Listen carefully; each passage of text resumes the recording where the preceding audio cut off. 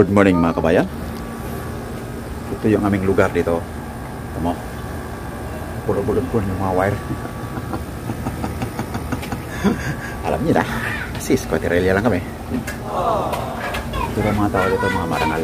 Halaman na yung pag gaganda. Bababa na ako mga kabayan para magkape. Kasi para mainitan ang tulog pa ang anak lalaki. Si Susit naman sa si George doon sa kabilang bahay. So good morning mga kabayan. Ako'y magkakape. Kaya nakasweeter pa. Si Malamig. Coffee is life. Pero what I sold. Cup na lang. Pandesal sa umaga. Saka chocolate pickles. Bili ni Luis kagabi.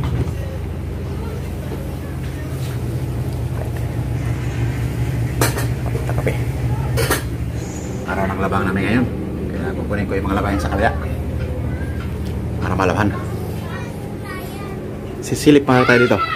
Sa aming mga kapitbahay. Good morning mga kapitbahay. Ayan si Renner. At saka si Renren. Magkano bayad pag pagpapayas ng electric fan? Binaklas lang. Meron kaming ano eh, muugong lang na electric fan. Wala kasi akong gamit. Eh, di ko ma ma-detect kung anong sira. Wala kaming tester. Wala lahat. Walang walang screwdriver. Ayan si William oh. Ah, William. Tapos na, nadiligan mo na yung halaman? Yung halaman namin, no? Oo, basa-basa. Ah, okay. Ba't yung puno walang basa? Mahina lang yun. Hmm? Mahina. Mahina? Wala pa naglalaro na. Sino? Wala naglalaro pa ng. Ang aga pa eh. Ah.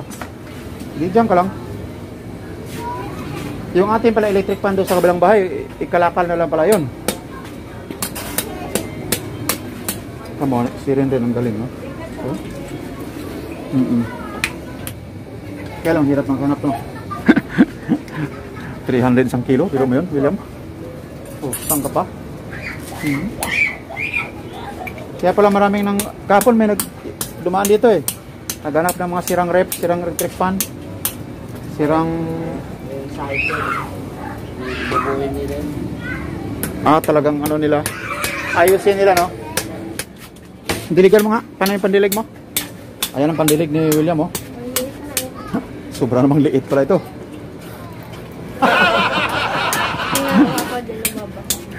Yan lang na nababasa, oh. Ayos yung pandilig mo, ah. Pero, malaking hose. O tara, diligan natin. Kundi lang kasi magbaha dito, nag-ayos sila. Huwag ma- Hindi, ma, ma ano sila, mababasa. Ano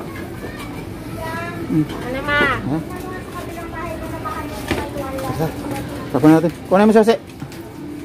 Bubuksan namin ang aming pinto dito sa pink house. Ano kunin mo? Baliktad. Hmm. O yun, lahat. Kuha ka ng lalagyan. Kami pa ano mo ba? Yun pala oh. Ito ang aming labahin. Labahin dami oh. Ayan oh. Ito kaya pa pang labahan? Kaya pa pang labahan? Meron pa ba dyan? So, madumi dito guys. Malinis. Ay, sara mo. Ay, naliligo sara. Sabihin mo, wala nang tuwalya. Ay, wait lang, may naiwanan ako. Ayan o, susi. Automatic, ano daw? Automatic start? Ganda automatic start, no? Ayun. Mahal ng mga motor. Saan ka napasok yan? Saan yun?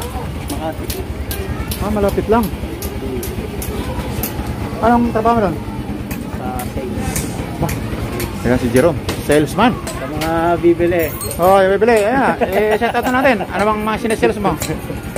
uh, mga maleta. Kaso wala pang biyahe. Kaya mahirap magbenta. ano na ngayon? Pwede na. Ah, oh, mahirap. Na, nalip, nalip na yata ang mga travel ban eh. Pampung bansa. Pero may mga. Ano online? Or yung actual na Physical. ano? Physical ha? Ah. Maganda ang ano ng sales. Dahil may mga posting to kayo. Diba? Mga posting kayo. Pabinta kayo. Ayan, 0. Sa, sa inyo bumibili lahat ng ano niya, no? Oo, sa akin yun, yung maleta na. Hmm. Shout out sa mga kababayan natin dyan sa Saudi. Ayan, pababayan natin sa shout out. Ayan si Jerome, nagbebenta ng mga malita. Kung gusto nyo, anong, ano nyo, anong address? Makati. Ah, Makati, Ayan. Rockwell, Power Rock. Plan Mall. O, sa Makati, Rockwell, Tower, Power Plan Mall. o, Power Palan Mall. Yun. Subscribe na kayo sa channel ni Papa Jun. O, tuloy kayo mag-subscribe sa akin channel. Ito ang aking content ngayon. To promote Power Plan Mall. ah, Power Palan Mall. Makati City. Ingat. God bless. Thank you. Karen, ingat.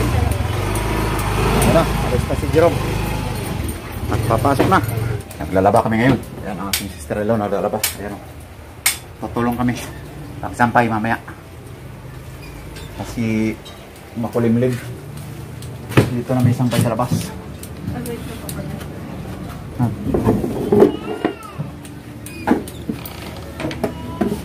Ah, bababantay si William dito sa baba, labas.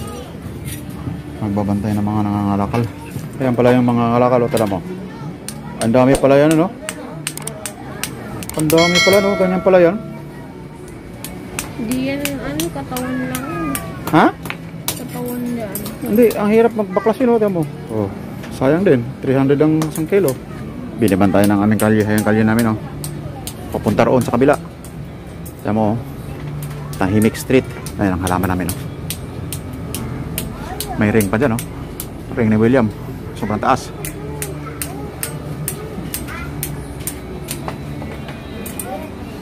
Ito yung iba or tatawag ito sa Tagalog.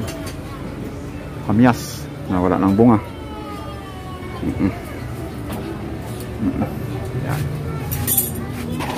Ba. Good morning. Good morning daw. Kapitbahay si Bibi. Pupunta ako sa kabila, mag mangunguha ako ng bagoong. Saan yan? Ah, dito. Kala ko sa kabilang baryo. Dito lang ba? Kabilang bahay lang ba? Ate, nasan yung bagoong mo? Kasi ano sila eh, isang kabuong pamilya na di, kadikit lang ang bahay. Tingnan yung pusa. Naghanap ng makain. Oh. Oh. Pa yung may-ari, hindi ako makakuha eh.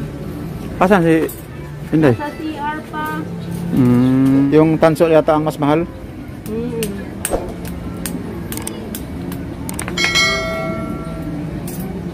Mahirap din pala mag ano no. Ganyan ang ginagawa nila pag wala, pag kailangan nila pera. Oo, si di, di, tatapon niya sayang eh. Hmm. Ayun na, pinunta na ni Bebe ang kanyang kapatid. Kasi manghingi ng bagoong. Yan na ang buhay namin dito sa squatter area. Kung anong meron ka, mamigay sa kapitbahay. Lalo pagka mga kapatid mo, mag-anak, share-share kayo. Pero na initan ako mga kabayan. Pleasing ko itong aking switch. Papasok muna ako sa loob para magpalit ng sweatshirt. Sama na kayo. Ayun na, nakakuha na si Bibi ng bagoong. Wow, pino pala? Ah, ano? Nga lang. Pasara malasa no? Pinakbit. Yun, pampahalo ng pinakbit. Ayun, nakakuha na si Bibi. Oo, gusto ko magulay ngayon. Mm Sarap yun. Gulay. Di ba? Bye. Ayun. Yun pala ang teknik. So may natutunan na naman tayo ng mga kabayan. Ang bagoong isda ay panghalo sa pinakbit. Ano pala yun? Yeah! Pero pwede rin ano ba no? Yung patis. Patis. Ka, pwede. ka ano lang siya no? Patis, hindi kaya bagoong. O pag wala kayong patis, pwede na yung bagoong sa pinakbit. So kung Sarap sa pakbit yun. Oh. So yun, lesson learned na naman sa magang ito. Ang bagoong panghalo sa pinakbit. Kung wala kayong bagoong, patis. So ang ating topic for today is about kung paano kumita ng marangal. Ito nga, ang may mga kapitbahay, yan si Rinrin nga, nagpaklas sila ng mga bakal sa electric fan, mga tanso, hinihiwalay nila. Aday, Ay. ano ba ta? Dito lang. Mm, magandang kanapuhay yan. Parang alang napuhay. Mang ngalakal ng mga sirang electric fan, washing machine, at saka electric lights. Mga alam lang talaga ako eh. Papakilo, tanso, bakal, o yan ang mga nakuha namin dito na marangal. So sa magang ito, ang aming aking content ay kung paano magluto ng pinakbit na ang halo ay bagoong na isda. Pwede pala yun kung wala kang patis. Tsaka kung paano mga lakal, tanso, pinaghiwala yung tanso at bakal at so, saka yung pinaka yung nga pinakabakal. Ano may mga sirang electric fan. Yun. Alisin mo yung uh, motor, lalagay riid. Hiwa-hiwala yung bakal, tornilyo, tanso. At mga wirings. Pati na yung mga frame. Ibenta na. 4 kilo. Oo, di ba? Napakaganda. So yun ang simpleng buhay para makakaroon ng pera. Ito ang simpleng laruan ni William. Baril-baril ng tubig. Simple lang. Para lang siya ay sumaya sa kanyang araw na laro.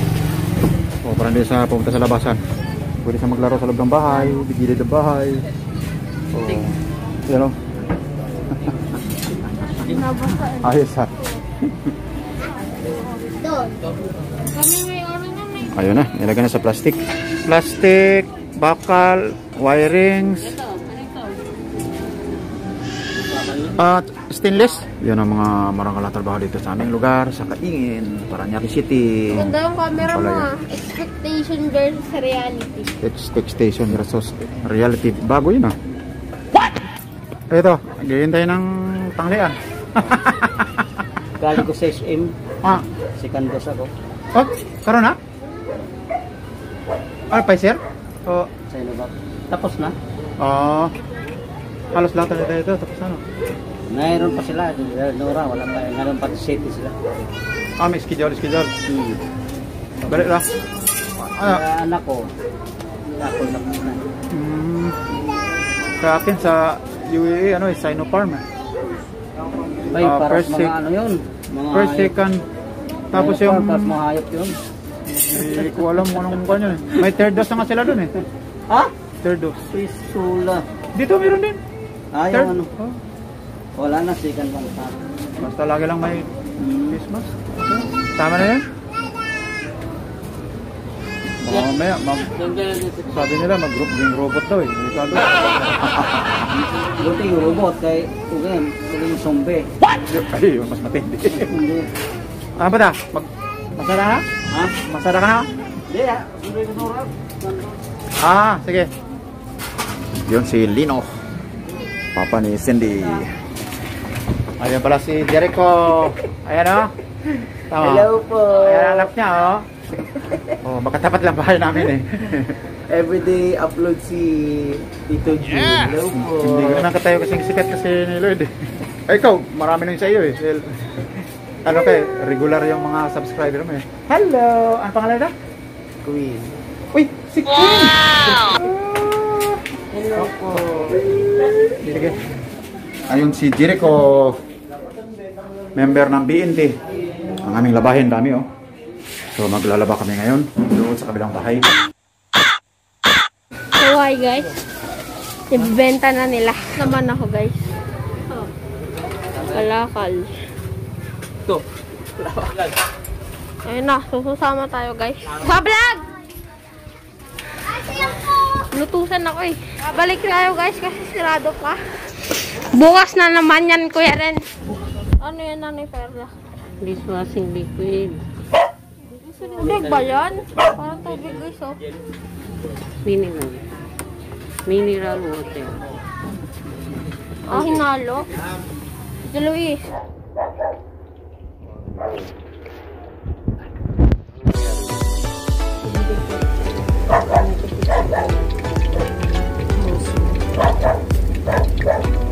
Na-try nyo na ilagay lang sa baba.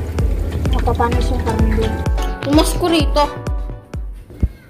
Tinapon. Tinapon ko na. Sige, papa dyan. Yun. Malapit na karang itsura siyang black. Balik kulay orange siya, Tek. Hindi siya. Paring! May anak ako. Tapos na naman, guys. So, ayun lang. Tapos na tayo, guys. Hello mga kabayan, nandito ako sa Pink House. Kasi nag-edit ako ng aking mga vlogs. Nakita ko si Mother Queen at saka aking hipag na nagsampay. Aking iba vlog. Hindi ko ipapaalam. Kasi si Parit ang vlog namin ni Mother Queen. At saka sa kanya. Isa kasi ang ano eh, pang malakasan eh. Pasok na? Kasi ingat. Yan o, si Mother Queen o. Oh, pinakamamahal kong misis. Walang ano yan, walang biro yan. dito lang ako kasi nag-edit ako eh. Nagsampay sila doon sa kabila. So dito lang ako. Yan ang aking computer mga kabayan. Oh, nakikita nyo? Madilim. So walang ilaw. Dami kayong ilaw to. Naka-design talaga itong apat ilaw. Oh. Yan, oh. So dito lang ako. Yan ang aking editing laptop. Hindi yung Apple, ano yan? HP. Yan ang aking laptop mga ko sa Middle East. Kailangan ko ng salamin, reading glass dahil ano na, matanda na. Tripod. Habang nag-i-edit, eh, nagre-record. Ano ko external mouse na cordless. Ito, hindi akin to. Kay Susit yan, may nagbigay daw Susit. Iniwan lang dyan. Hindi ko pwede pag-alaman yan. Dahil akin yan. Dito yung camera. Kasi wala nang malagyan yan. Nakasaliksik na sa sulok. Ang karili na yung Nescafe ko. Hindi sponsor dyan. Just in case mauhaw ako o antukin. Madala mang timpla. Meron na kami mga baso na rito. Nagdala na akong sarili kong baso. Charger. Pa lahat. Yan. Face mask. Panadol, sabon, nandun na lahat. So magbawas na akong ilaw. Sayang kurente. So yun lang kailangan ko salamin. Uh, progressive. Scratchless. So comment below kung meron pa kayo, kung may alam pa kayo at nang napuntahan ko. Tungkol naman doon sa may nagrekomenda sa akin na may binibinda rin kotse, mag-usap-usap muna kami. Dahil ang priority sa amin ngayon ay yung bahay namin matapos doon sa Cavite para makalipat na kami. So, yun. Pagkatapos nun, eh, mag-uwian yung mga anak ko, ako ko, mga manugang, lahat ng uh, kamaanak, uh, lahat ng pamilya ko. Sama-sama kami doon sa Cavite. So kaya kailangan maraming, maraming kwarto. Actually, yung kwarto ko, kwarto ni Mother Queen yun eh. Yung aming master bedroom, yun ang kwarto ni Lloyd. Yun lang si Lloyd. So doon na kaming mag-asawa dapat sa taas. Pero ayaw ko din, masakit tuhod ko. Tama na sila sa taas. Mga anak ko, Mother Queen. Tsaka yung mga apo ko. Doon ako sa baba kasi gusto ko yung kahit maliit lang, meron akong editing room. At saka pag umaga kasi nagsasala ako, nagdadasal ako ng madaling araw. Tapos exercise. Kasi yung pagbangon ko, walang madidisturbo. Hindi ako mag-iingay. Sa baba naman, paglabas ko, nandun na sa halan eh. Tsaka madaling kumain. Pag midnight struck, walang kakapigil eh. nandun ko sa baba. Hindi din man ako, di ako kumakain sa, sa ano, birang-bira sa ating gabi. So okay na yung maliit na kwarto sa akin. Mayroon lang malapatan yung likod ko. Ganun. Sanay ako doon. Isang maganda, cute yung kwarto ko doon. Eh. Yun ang kwarto talaga ni Mother Queen. Namin pala. Eh, wala kasing matutulog doon sa higaan ni Lloyd. So, apat ako parang kwarto eh. So, makabayan dito ako sa Pink House. Ako yung nag-edit ng aking mga vlogs. Mainit kasi electric fan lang ako. Walang aircon dito sa baba eh. Electric fan lang. Ah, bakit ako ka face mask? Tumubas kasi ako kanina. Kaya mask ako. Bawal face mask. okay lang pag dito tawid lang. Eh, siyempre may edad na. So, pagpatuloy ko itong aking pag edit. Ayan o. Minamonitor ko yung aking channel. Dahil nga, baka mayroon akong copyright claims. Eh, at least ma-mute ko, ma-remove o mapalitan. Kaya kinuha ko salamin ko sa kabila. Dahil ang inyong lingkod ay kailangan ng reading class. Kaya lang mo ng vlog sa araw na ito. Na inasiyan kayo mag-like sa'yo, mag-share at mag-subscribe sa aking channel. George Kalit Kalina. Ganun na channel Mother Queen, George Capicondisa, Siena Kanina Guerra, Binte Production, Madam Ili, Madam Eman, lahat ng mga supporters, subscribers sa aming mga channel, sa aming pamilya, at mga followers. Hindi ko na kayo lahat isa-isahin na i-set out. Dahil sa dami nyo, kung uh, minsan eh, hindi ko nasagot ang inyong mga comments, pasensya na kayo. So, thank you nga pala doon sa nag-recommenda sa akin na magpasukat daw ako ng pasalamin ko doon sa e-vision ng SM branches. Salamat sa inyo at baka sa bukas makalawa kung wala na lakad si Steph o si Luis kasama ako like a Hellcat.